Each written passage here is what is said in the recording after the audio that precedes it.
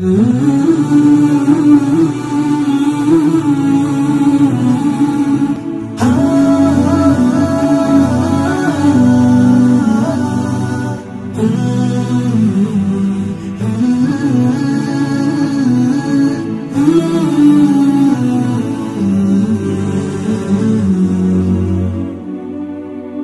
خير الخلق بالنور أتيت وأزحت الغمة عن قلبي ومضيت. تكسو الأنثى عزا يبقى. بسم الله والحمد لله والصلاة والسلام على رسول الله. اللهم إنا نسألك خير هذا اليوم فتحه ونصره ونوره وبركته وهداه. اللهم ألهمنا حكمتك وانشر علينا رحمتك.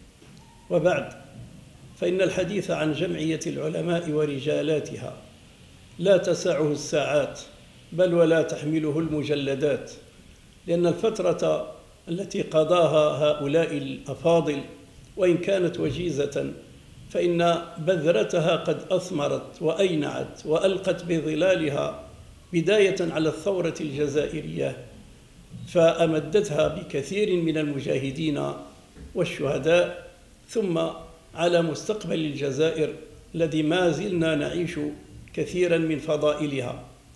جمعية العلماء ساقها الله سبحانه وتعالى في وقت في وقت حاسم حين ظنت فرنسا بأنها قد قضت على الجزائر ودينها ولغتها فأخرج الله من صلب هذا الشعب جمعية كان شعارها الجزائر وطننا والإسلام ديننا والعربية لغتنا.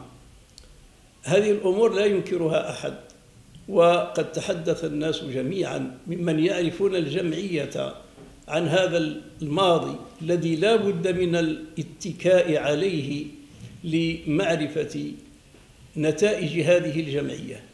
اليوم ساق الله سبحانه وتعالى رجالا آخرين فقادوا هذه السفينة إلى بر الأمان وما زالوا يقودونها ويؤدون المشروع الذي بدأته جمعية العلماء.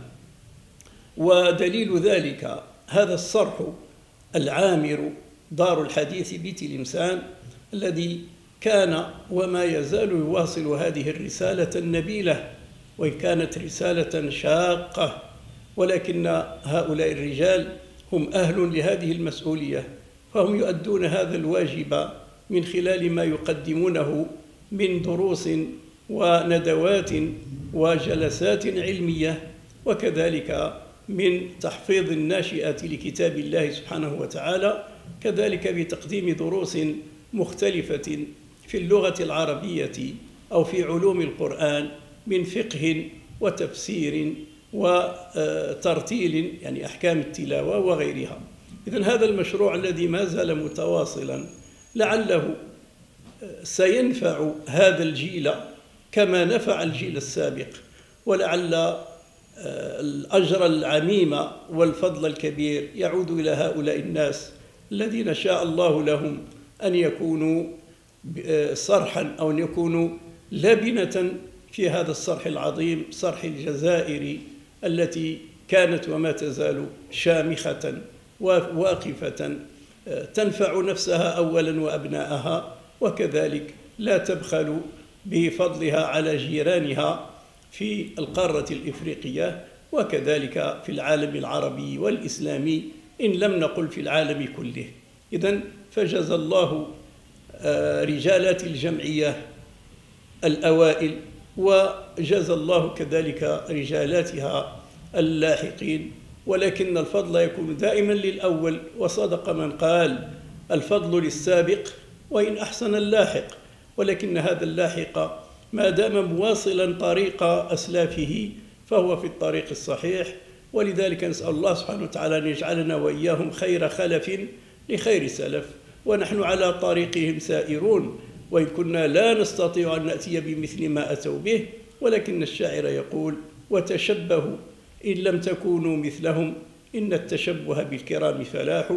وختاما أسأل الله سبحانه وتعالى أن يرحم رجالات الجمعية بأسمائهم جميعا وأن يوفق إخواننا في الوقت الحالي إلى مواصلة هذا المشروع المثمر وأن يجري الخير على أيديهم حتى تبقى هذه الجمعية وتبقى هذه الدار دار الحديث شامخة واقفة تسدي النفع للجميع. وقد وفقني الله سبحانه وتعالى إلى كتابة مجموعة من القصائد لكنني أعتز بأول قصيدة كتبتها عندما كنت أستاذا للغة العربية بمتوسطة بجوار دار الحديث وكانت تحمل الاسم نفسه متوسطة دار الحديث. فكتبت قصيدة آه، عنوانها بدار الحديث. جاء فيها بدار الحديث يلوح الأمل وتحلو الحياة ويحلو العمل. بدار الحديث تلامذة يجدون لا يعرفون الكسل. بدار الحديث أساتذة يجيبون من استقى أو سأل. قطعنا على النفس نيل العلا ونحن مع الدرب لما نزل. عزمنا على المجد لا ننثني ومن يبتغي المجد حتما يصل فهيا جميعا بعزم أكيد لتحيا الجزائر عهدا جديد. إلى أن أقول في آخر القصيدة عماد الجزائر أولو الهمم رجال غدا يرفعون العلم يعيدون للقطر أمجاده بدين وعلم وحسن الشيم إذا ما أرادوا بلوغ المنى. لقاموا الليالي وقالوا نعم. دماء الشهيد أنارت لنا رحاب العلا وأعالي القمم. تعالوا لنحيي زمانا مجيد إذا صح عزم الشباب العتيد. آه، كذلك وفقني الله سبحانه وتعالى إلى قصيدة ذكرتها في ختام تكوين الأساتذة المتربصين بتلمسان. لهذا العام آه، قلت فيها باسم الذي سمك السماء وزانها بمصابح النورين والنجمات. إني وددت بأن أدوم معلما حتى يوار حتى توارى في التراب رفاتي لكن قانون الحكومة قال لي أقعد فأنت الآن ذو الشيبات. لكنني ما قعدت. لكنني ما قعدت لكنني واصلت حرا ثابتا أسدي لكل الناس من خدماتي. هذا أعلمه وذا أوجهه وذا أعطيه من نصحي ومن خبراتي. فالدرس عندي فالدرس ترياق السقام جميعها. فالدرس ترياق السقام جميعها. والقسم عندي جنتي وحياتي. أنسي مع درسي إلى رمسي وإن نفسي كبت قاومت ذي العثرات. أرجو رضاء الله ثم ثوابه حتى أفوز لأفوز في الدنيا وبعد مماتي. بسم الله الرحمن الرحيم والصلاة والسلام على أشرف المرسلين. صلى الله عليه وسلم وعلى آله. الشيخ عبد القادر العماري من الزملاء الذين آه، جلسنا على طاولة آه، في قسم واحد آه، بالمعهد التكنولوجي لبني طفيل. الشيخ العماري عرفناه معلما رساليا. ليس معلما وظيفيا. وظيفيا أبجديا بل معلما رساليا لأن المعلم الحقيقي هو الذي يحمل هذه الصفة حتى في التعريف التعليم المعلم. يقول لك المعلم صاحب رسالة وحامل دعوة وقائد فكرة. رسالته رسالة الأنبياء والمرسلين ودعوته دعوة القرآن الكريم. وفكرته تنبع من معاني الإسلام. والشيخ عبد القادر العماري منذ صغره وهو على هذا الطريق.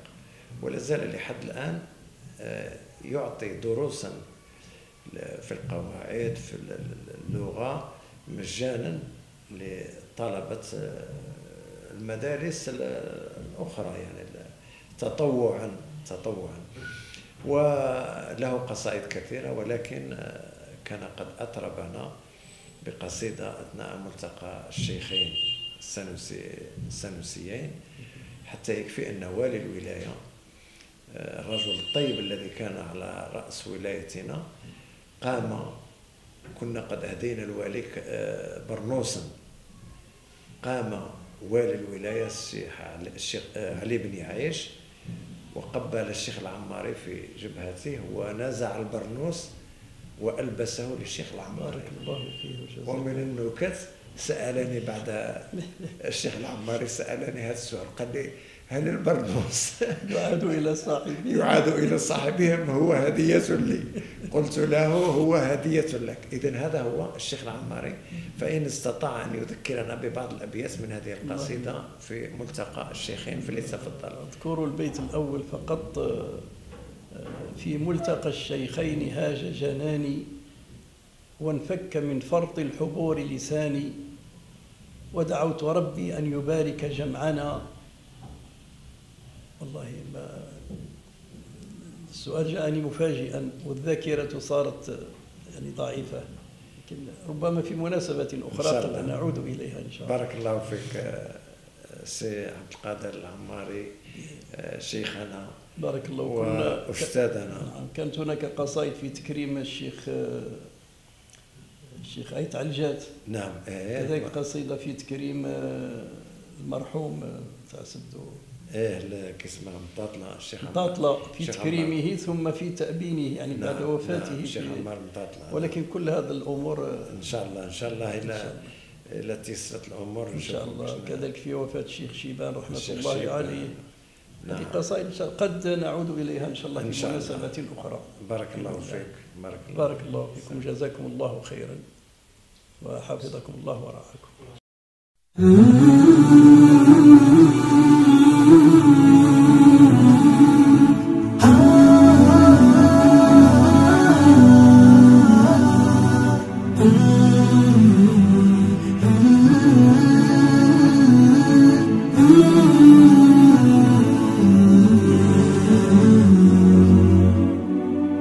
يا خير الخلق بالنور أتيت وأزحت الغمة عن قلبي ومضيت. تكسو الأنثى عزا يبقى